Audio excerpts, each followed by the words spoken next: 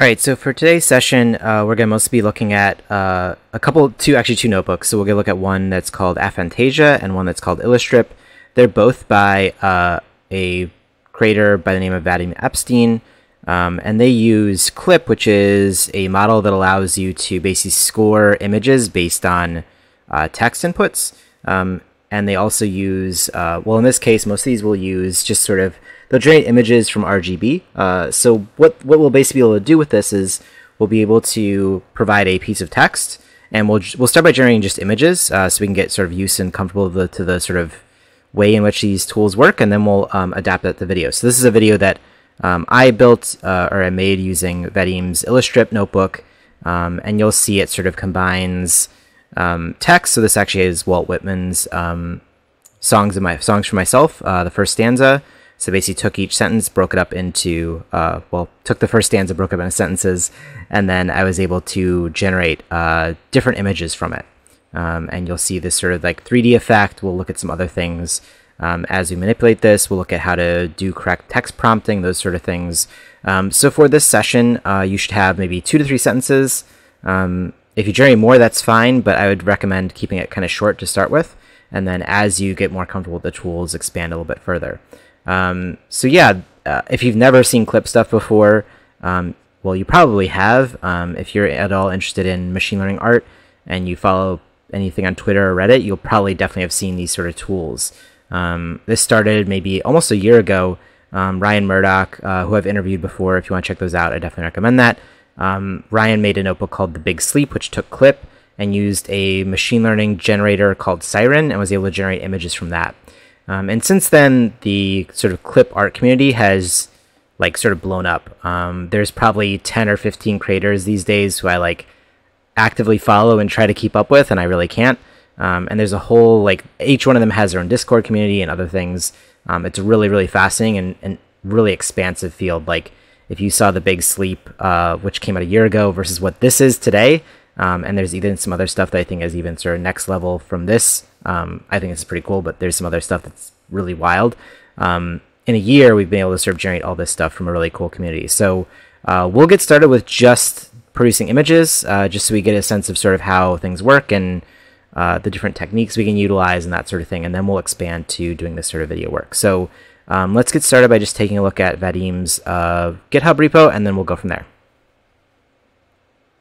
Uh, before I get started, I do want to give a shout out to Vadim Epstein. Uh, we're going to look at the Illustrip notebook uh, today.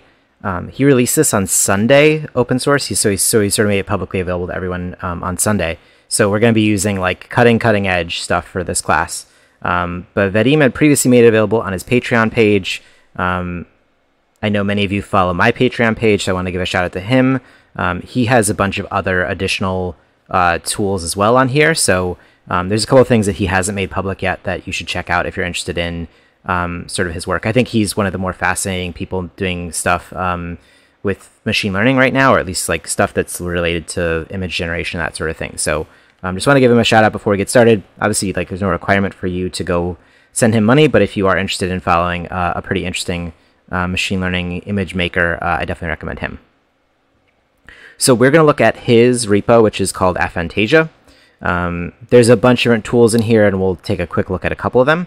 Um, but if you do come over here, uh, I'll post this link uh, in our doc as well as um, in the YouTube page for anyone that's interested. Um, but you'll come here and you'll see at the very top here we have a, a Colab notebook. Um, he has a bunch of other Colab notebooks in here as well.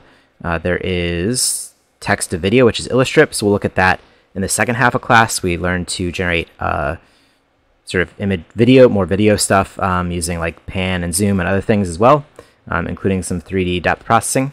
Uh, you can use these uh, from a purely command line, but I think his Colabs are pretty nicely set up, so there's uh, things there to look at as well.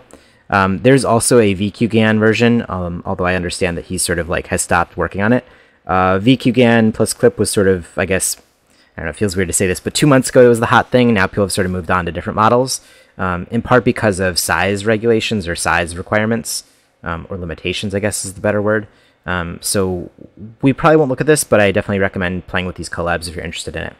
Um, and he has, I guess, Siren, which is what I mentioned, which is what Ryan Murdock first used for um, Big Sleep. Uh, he also mentions it's not really that interesting these days. It's interesting. It's probably just like if depends on whether you want to go for like the highest resolution, most detailed. Um, Siren is not the most detailed, but it will give you sort of this like sort of blurry, interesting, sort of abstractly shaped look. So um, we won't go through all these notebooks, so I definitely recommend if you're interested in playing around more to come in and check these out. Uh, we will start with Aphantasia because Aphantasia is better set up to just sort of uh, do general image processing, and we can sort of start there. So click on this link, um, and you'll get to Aphantasia. Now, one thing I should also note here is uh, I know many of you are using the free version of Colab. Um, the free version of Colab has some limitations. Um, mostly, you'll get a crappy GPU, uh, and that may become an issue with either Aphantasia or probably more Illustrip, um, because generating video requires a lot of GPU power. Um, so what I recommend, you'll probably be fine. You'll just need to go with like a smaller image set and be able to wait or be willing to wait a little bit longer. Um, so just start there. Uh, if you do find you really enjoy this process, I might recommend that you pay the 10 bucks a month to get um, Colab so you can be sure you get at least a T4 or a P100. Um, the K80s are just a little bit smaller in terms of memory, which means you'll get a little bit more limit around what you can do in terms of image size. Um, yeah, so with that, let's start with Aphantasia. So uh, I'm on a fairly fast uh, machine here, but I'm going to go ahead and just make sure that um, I get a decent GPU.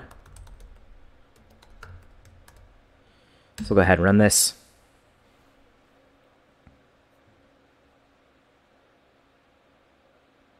So of a V100, um, again, uh, you'll definitely be fine if you're on a T4. Uh, if you're on a K80, you might have some other issues. Um, probably mostly just around resolution size. So I'm going to go ahead and do this since it'll be a little bit faster for us. Um, if you do run into issues, just let me know and we can take a look at that. Uh, so first thing you want to do is make sure you run this very first cell. So actually I was talking to Steven earlier and Steven ran into an issue where he had run this the first time um, because it looks like you're just sort of resuming from places, uh, but this actually has all the setup codes. So um, one of the things I don't like about how people do notebooks is sometimes they bury uh, the first thing, which is just all the setup stuff, and then you kind of forget that it's there.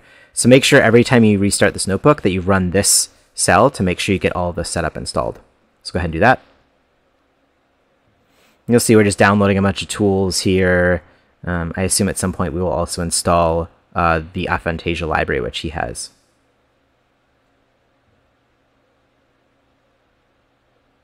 And again, if you're on a P100, a T4, K80, this might be a little bit slower. Uh, for me, it's fairly fast.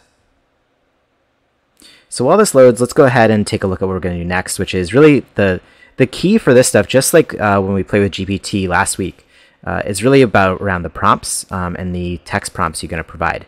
Uh, so again, maybe if you're used to using StyleGAN, you know it's really about like sort of generating the right data set and training the thing correctly.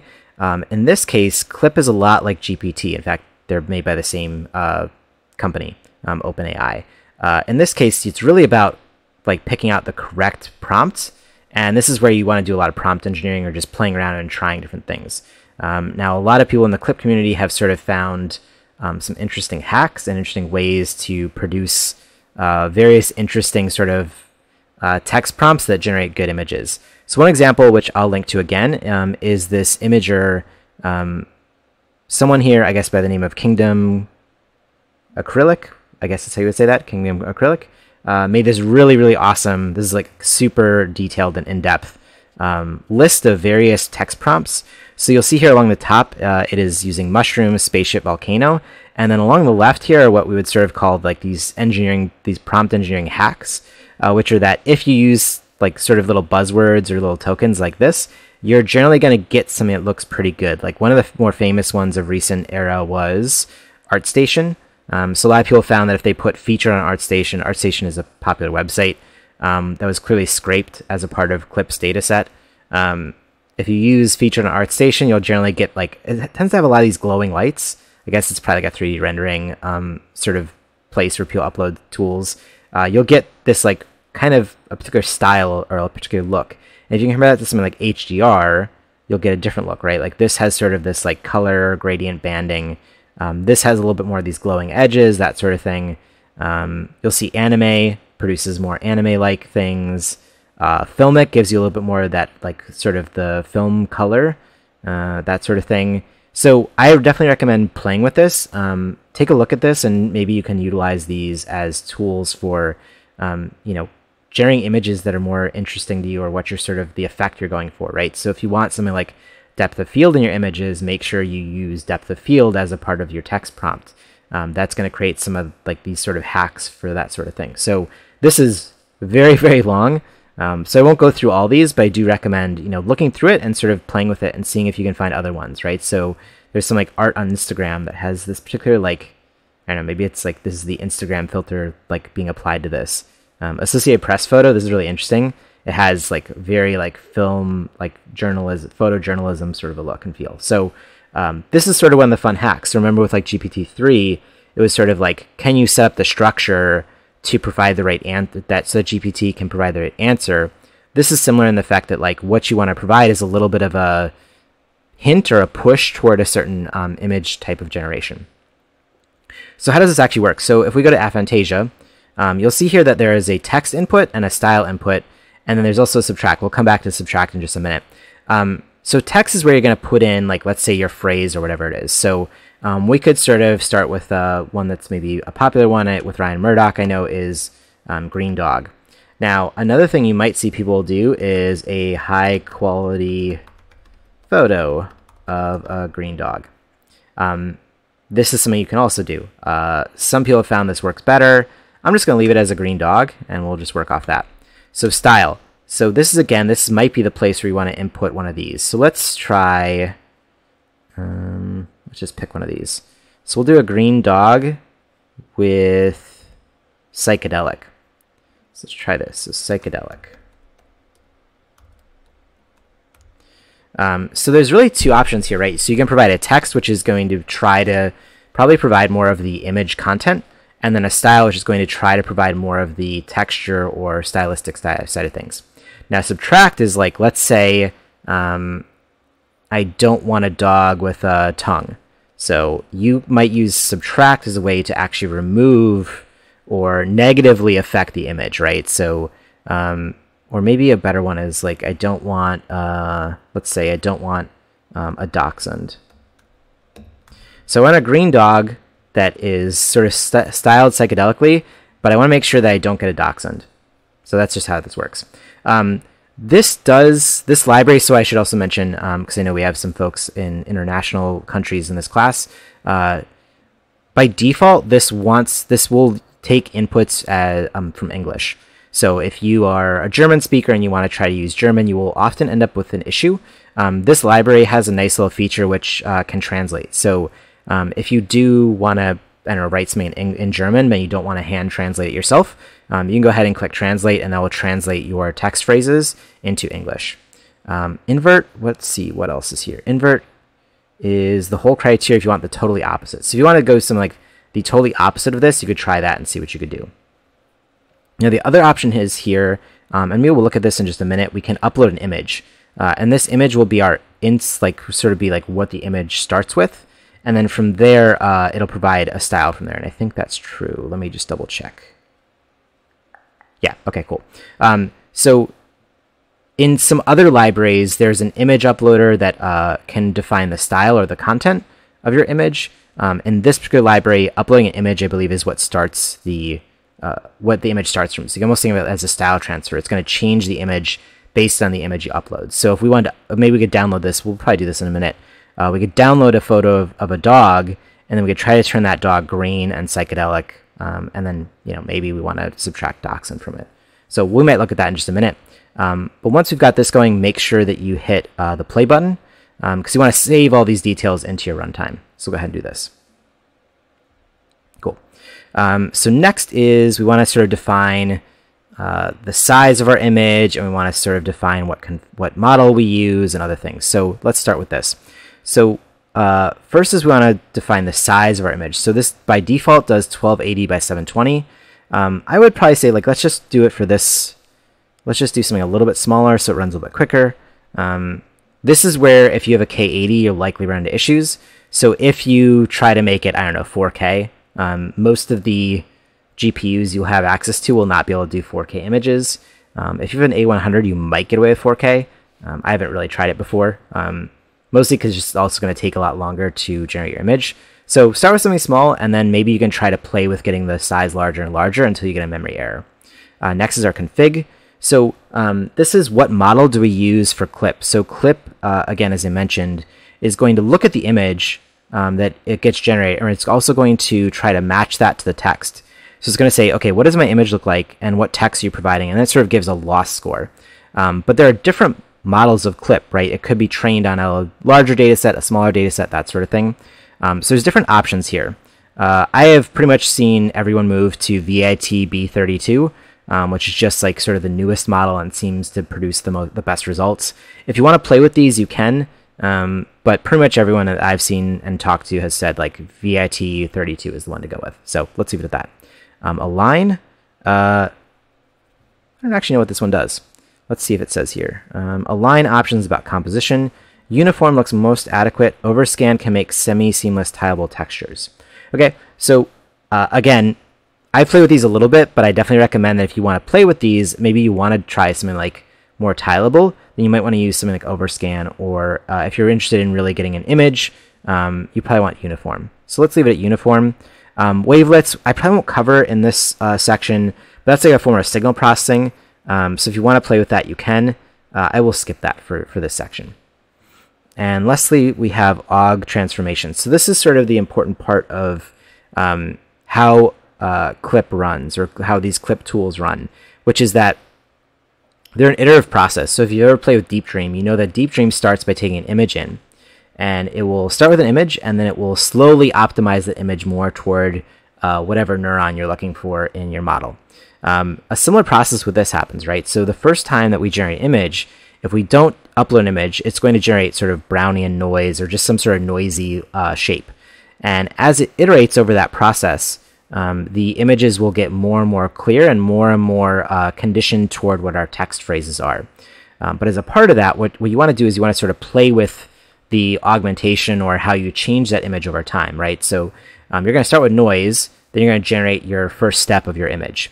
Um, and then you're going to want to sort of play with it, right? Do you want to like add a little bit more noise in there? Do you want to colorize things? That sort of thing.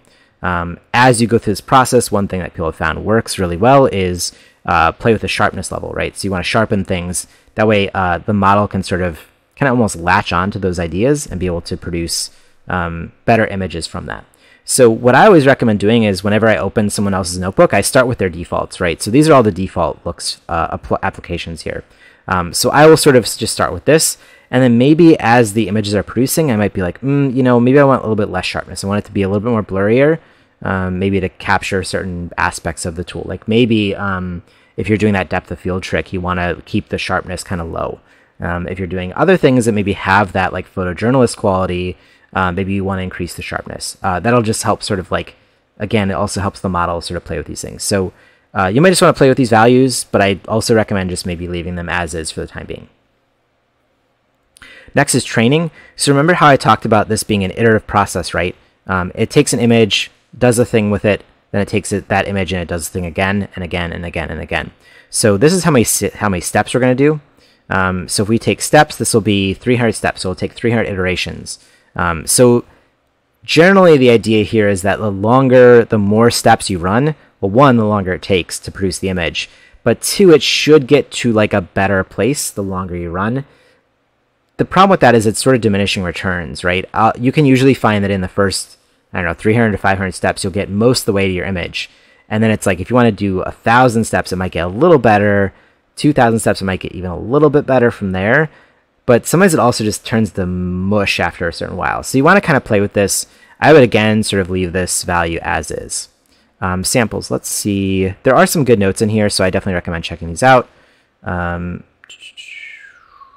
samples, he doesn't mention what samples is. Might mean that uh, this is how many times it, it passed it by. Uh, oh, decrease samples if you face out of memory error.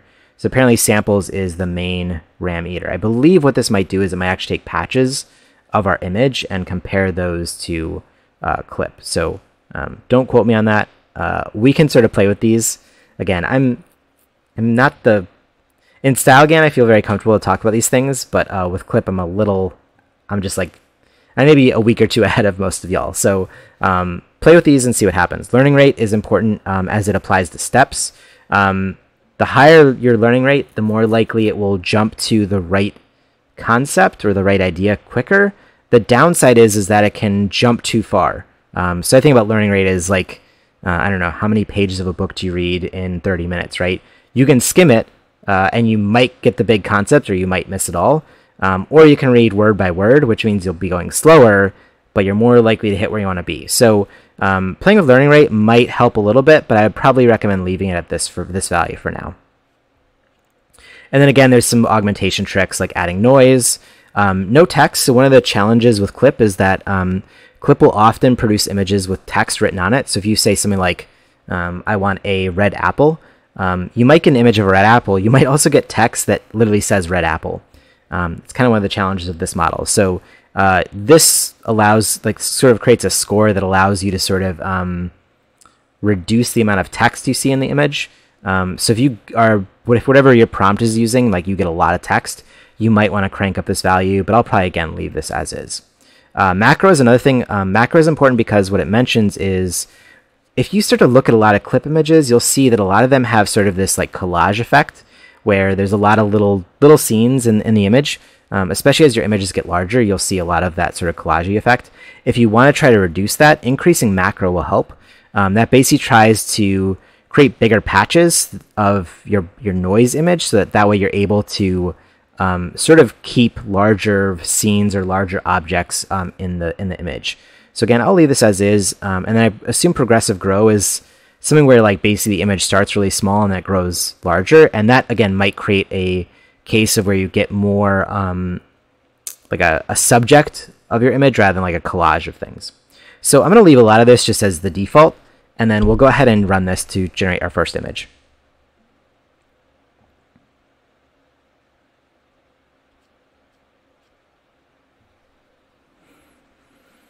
And this is probably where you're going to experience the biggest lag in image production time. Um, if you're on a faster GPU like myself, like using a V100, you'll probably see this happens pretty quickly. Uh, if you're on a K80, uh, it will likely be a lot slower. Um, that's just sort of one of the downsides of these things. So here you see our first image. So see our very first image is a little bit more of um, just some noise, right? And then um, you'll see it's updating. So you'll see here below it says 6 of 300. This is each step it's taking.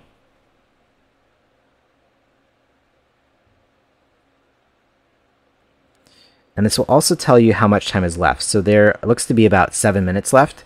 Um, so what I might do is I might just pause this recording so you don't have to watch this grow, um, and then we'll come back. Well, you know, actually for this one, let's let's just let, let's watch it watch it grow because I think it's helpful to see what happens over time, um, and then maybe for future ones we'll decide to skip that. So you'll see that like I'm getting something green in the middle. I don't know if it's a dog. I don't know what it is, um, but I'm getting something.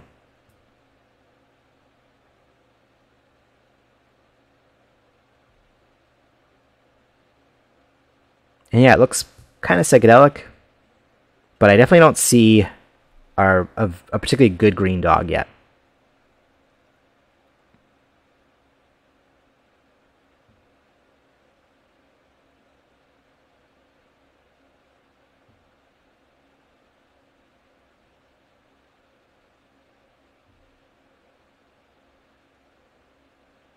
See something that looks more like a grasshopper.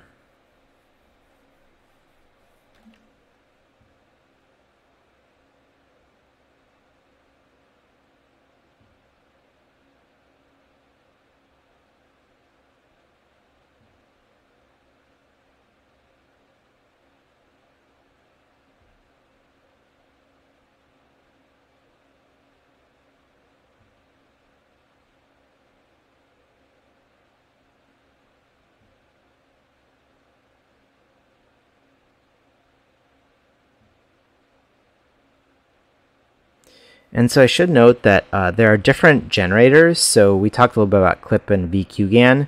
Um, VQGAN is a model kind of like StyleGAN in that it's a GAN that generates images. So when you hear people talk about uh, Clip Plus or Clip Guided Diffusion or something else, Clip is just the model that is able to score our images based on a text prompt. Um, so Clip always requires some sort of generator, image generator attached to it. Um, so in this case, what uh, what I believe um, is happening here is we start with just basic RGB uh, color values, and then we're actually scoring the image based on that. So it's almost like there is no GAN generator, which means it tends to be a lot faster um, in the way it produces images. If you were to run this uh, similar prompt with VQGAN, uh, it would probably take about instead of seven minutes, it would probably take about 30 minutes for the same size image. Um, so it's just helpful to sort of keep that in mind um, that every time you're working with some sort of image generator, uh, in some cases you'll be using something called FFT, which is a fast Fourier transform, which is more of signal processing. This is almost scoring more of the individual uh, like pixel values essentially.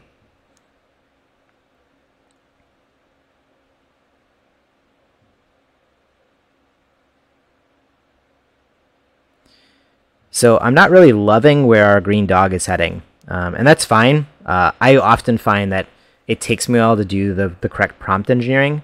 Um, it's also just possible that a green dog is not something that this model is particularly good at generating, which is another general challenge of these tools is um, I find that, you know, unlike, so go to my soapbox here a little bit, but I like StyleGAN because I, when I'm building my data set, I generally know what my data set is going to produce on the output. Um, with tools like Clip, you have to spend a little bit more time really, you know, prompting your text and really trying to figure out what the correct um, text engineering should be. Um, so you spend a lot of time sort of like generating different values, different images, seeing what works, seeing what doesn't. Um, so for me, it I'm slightly less interested in this as a tool because it requires a lot of manual time, whereas I like sort of being able to automate a lot of stuff through dataset production. So again, lots of people love Clip and find a lot of that fun and, and joy in doing this work, and I hope you do too. Um, but I'll just note that it does take a little bit more time and effort to uh, really engineer your prompts to make sure that you're producing sort of the best images that you can. So one thing I might think about is like, okay, so my dog didn't really work here. Why is that? Um, it could be that maybe just like a green dog wasn't a good idea. Maybe I should try a high quality photo of a green dog. Um, maybe psychedelic is also hard. Like one, dogs aren't generally psychedelic, so that might also be kind of screwing it up. Um, so you know, maybe we should look at a different option here. Like maybe we should actually try to produce. Um, maybe we can actually do what's what's here and just try to replicate what we're getting. So maybe we want to do something like uh, you know watercolor, um, and I guess this is mushroom, right? This is what the mushroom phrase was. So we could even try that and just sort of see what happens. Like maybe we want to do uh, mushroom and low poly. So uh, I maybe started us with a bad prompt. It happens. Um, maybe other people are producing good green dogs, and there's just a trick to it. It's also kind of a bit of a challenge because with these tools, if you remember that first image is noise. So every time you rerun this, you might get different images out.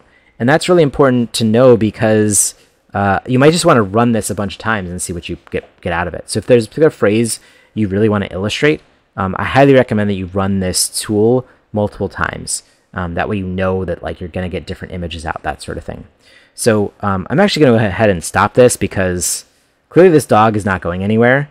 Um, so maybe I'll do one or two more just based on this um, this tool. I should say, you know, this is a really great tool to look at, but you shouldn't feel like you're stuck only doing mushrooms, spaceships, houses, and volcanoes. Um, if you dig around on the internet, um, maybe I'll add a couple links to people who are sort of constantly producing uh, really cool clip images, you'll see that there's a wide range of things that you can produce. Um, but maybe just for this demo to make sure I get some image out that looks good, um, I'll go ahead and just use one of these. So I think we'll do, uh, I think we'll do low poly mushroom. So let's try that. So go ahead and stop this because my green dog did not look quite green or good. So let's stop this. Stop. And we'll come back up here and we will change this to mushroom. And we'll change this to low poly. And we will remove this. So let's go ahead and run this to save it to our runtime. And we'll just use all the same settings. I don't think the settings were the issue this time.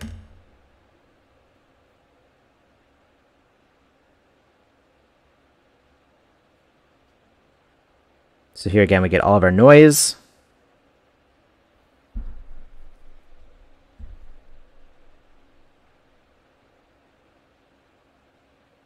Now we're generating images. So uh, I will pause or stop the recording and I'll come back once it's finished. That way we don't have to stand here and wait for the next 10 minutes. Okay, so here we have our mushroom. Um, and it looks fairly low poly. Uh, one of the nice benefits of this particular notebook is that when you're finished, it also generates a little cool little video for you so you can watch it uh, change over time.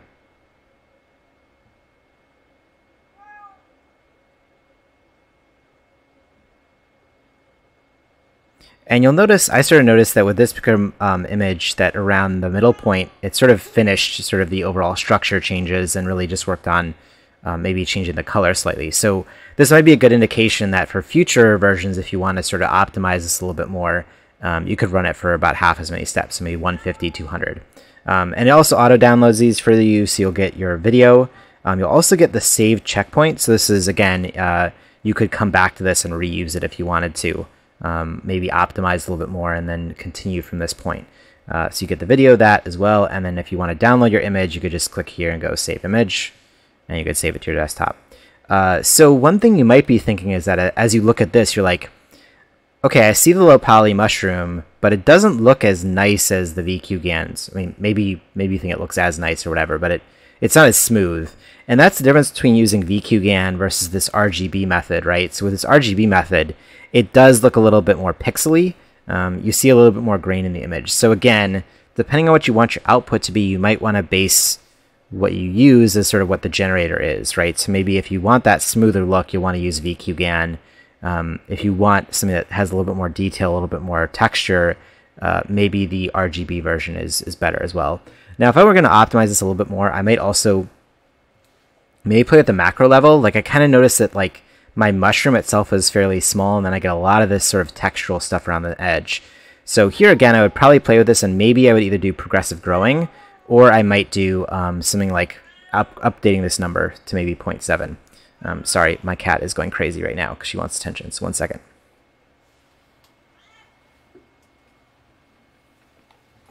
Okay, now I'm going to do this while holding a cat. So um, again, uh, for this lesson, because I don't want to spend two hours just optimizing images, um, I'm going to say like play with these, maybe save out a bunch of versions for yourself. Uh, maybe if you do that work, maybe share that Slack people can sort of see the difference between all these things. Um, but yeah, it's worth playing with a little bit more to maybe optimize this image a little bit more. Uh, but you should remember that every time you run this, you will get a different image.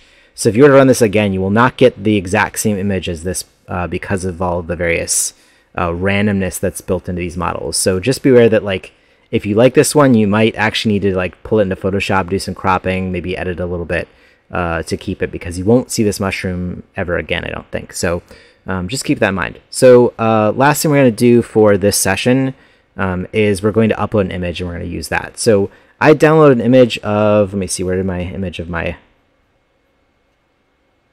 mushroom go here? Let's see. Here we go. So I cropped one of our mushroom images and it's cropped to 512. So what we're going to do is we're going to look at how to use an image initialization. And then uh, what we'll do is instead of using a mushroom, we'll actually try to turn this into a spaceship. So let's go ahead and do that. So come back up to the top of our notebook. And we will instead, let's do spaceship. Now, one thing I should also note is like you don't have to just keep these to be very generic, right? You could say um, a spaceship uh, from Star Trek. I assume that will give us like a USS Enterprise or something. Um, you could do like you know a celestial spaceship from uh, an unknown galaxy across the globe, and like that'll give you a different look. It'll like try to take all those words and try to mash together. So um, again, I really recommend playing with different text prompts. Try one that's really stark and basic, like a spaceship, and try another one that is really kind of out there and just sort of see what happens. Um, I think you'll often see that you get different results based on what you provide as text. Uh, so let's just look for one more thing in here. Let's try something else. Well, let's just do the the default like kind of cool one that I always do, which is that it is uh, featured on ArtStation. So featured on ArtStation. I don't think it really cares if you spell it correctly or like uh, capitalize the correct thing. Um, I'm not going to use subtract, and I'll just now we're going to click upload image. So we'll go ahead and run this cell. And now it gives you an option to upload image. So we're going to go ahead and click here. And we'll go date modified. And we'll grab our cropped image. So let's just double check. Yep. And one thing I recommend doing is you probably want to crop at least the proportions to the same as your image.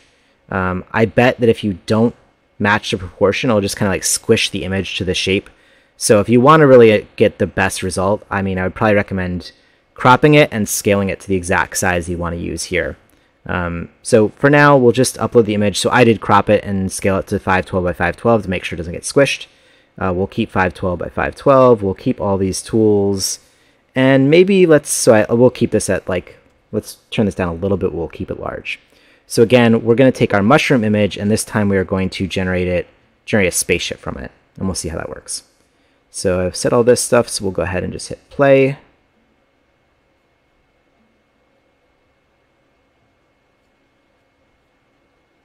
And I'll let the first couple samples run, and then we'll take a look and see what we get. So it looks like because we're uploading an image, we also need to download a new model. So this will just take a couple seconds. Looks like it'll take about 30 seconds. Um, VGG 16, uh, many of you have taken a class with me before, know about VGG. Uh, it happens to be a, a, a very common image um, classifier. And my guess is that what this is going to do is actually going to pull apart the layers of VGG 16 and apply some of those. This is a common style transfer technique. So it'll probably take some of the styles from the image and apply that. And you know what? Here's where I was completely wrong. So the image uploader does not actually uh, initialize your image.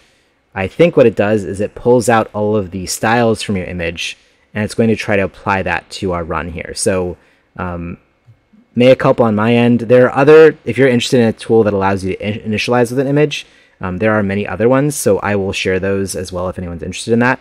But this, it looks like it's going to try to pull apart the semantics of that image um, and apply it to this. So I'm going to pause the recording again, and we'll come back when this is finished, and we'll take a look at it. Okay, so we have finished, and uh, sure enough, um, I'm doing a great job of showing you all the things you shouldn't do as I go through this notebook, because apparently I forgot how this works. Um, but you'll see I've uploaded our final image, um, still looks like a mushroom, but one thing I do think is really interesting is if we compare this to our final image, or the mushroom that we uploaded. So here's the mushroom we uploaded, and here is what our image looks like. Um, and you'll see that it's sort of generating more of these little rocket-looking kind of things in a bunch of places. And if you look closely, there's a little bit of like sparkliness that almost might be like stars. So not perfect. Uh, in fact, what I would probably say for this particular notebook is your image upload should probably somehow correlate to your main topic. Um, so if you want something that is a, a, spaceship from Star Trek, you might want to prompt it with an image from maybe I don't know Star Trek: The Next Generation, or you know maybe an, an old version of Star Trek, which would then just sort of like push it in that direction. Um, so my bad on this, uh, but we're learning as we go through it. Um, and also, if we want to watch our image be generated from here, you'll see it sort of found that that smaller rocket shape first, which I think is interesting. Also, uh, this may look like some famous Star Trek spaceship, and I just don't know enough about Star Trek. So if you're like, no, it looks like this thing, and you're screaming at the screen, I'm sorry. Uh, my bad. Um, so this wraps up sort of what we're going to do with Aphantasia, because this is just to sort of get used to sort of like playing with text prompts, playing with some of these variables, understanding what VITB32 is. Um, all of this will be applicable to Illustrip, which is going to be the tool we're going to use to generate videos. Um, so this particular model really just works on generating uh, single images. The next tool we're going to look at uh, will look at generating video. So for that, uh, we'll, call, we'll wrap this session up, and then uh, if you want to take a break or whatever, like we'll jump into the uh, next session.